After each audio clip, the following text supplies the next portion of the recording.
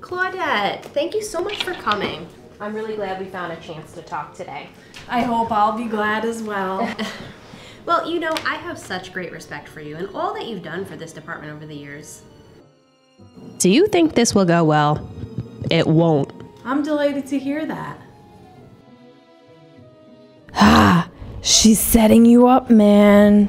So it's because I have such great respect for you that I have to be honest. You have to realize that your performance has been slipping. She ain't buying your BS. What makes you qualified to make that judgment? See, bro?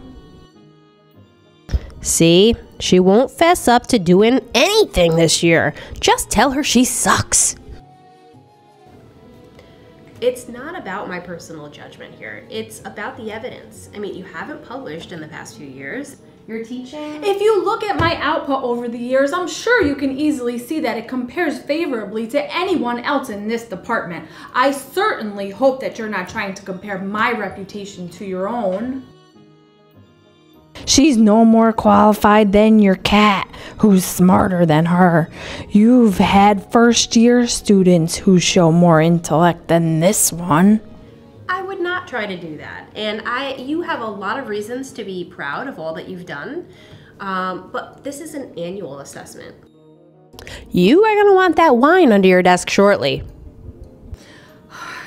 Perhaps when you've matured a bit more, you'll realize that the only sensible way to look at a scholarship is over the long term. Her reputation is that she has none because she's an infant chair who can't see your worth.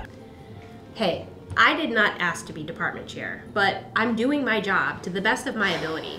I suppose you're trying to do your job just about as well as you can. Great. Now just go at her. Claudette, if you would just open your mind for one minute and listen to what somebody else has to say, I'm looking at the evidence. Ha ha, you don't have to take that opinion of feeble minded child. Let's go. I, you know, there is no reason why I should tolerate someone shouting and insulting me. I believe this meeting has gone on longer than productive. How dare she walk out on you? You should have been more cutthroat. That's the only way to be.